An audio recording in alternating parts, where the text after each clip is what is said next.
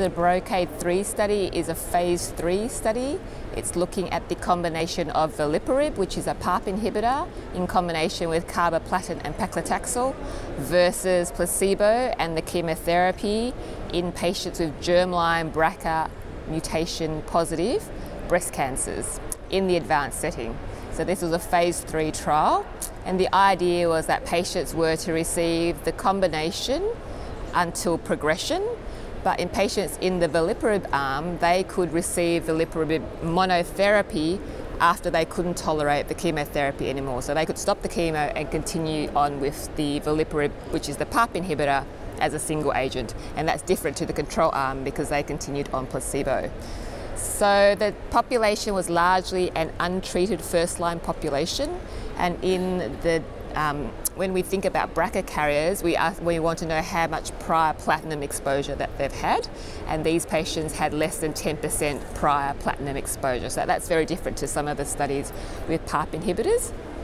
So the trial was positive. It met its primary endpoint in that the progression-free survival was improved with the addition of veliparib.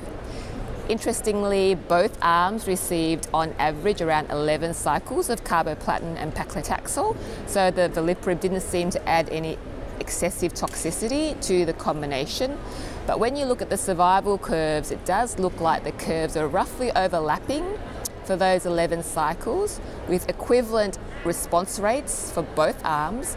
And the effect does seem to be after when the chemo stops. So the separation at two and three years is very much in favour of the veliparib monotherapy for the patients that just continue that compared to patients who were on placebo.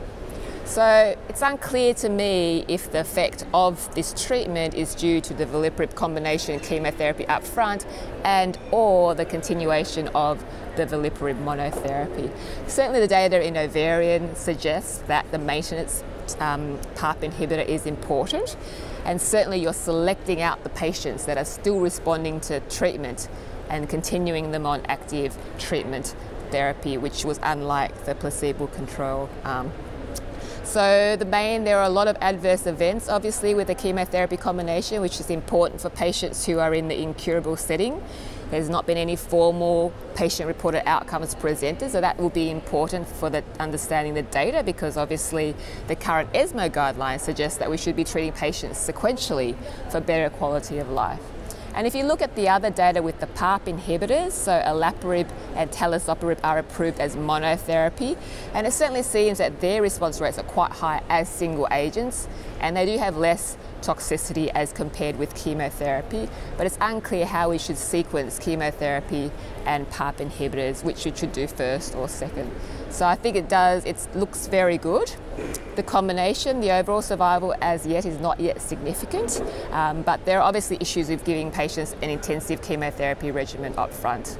So I think we need to wait for overall survival data, that's my impression, and I think the trial, the most important trial for these patients is looking at perhaps the brocade arm, maybe a PARP inhibitor up front, or, and perhaps looking at a ovarian um, strategy, which is carbotaxol followed by maintenance PARP. So just to try and understand what's best for these patients.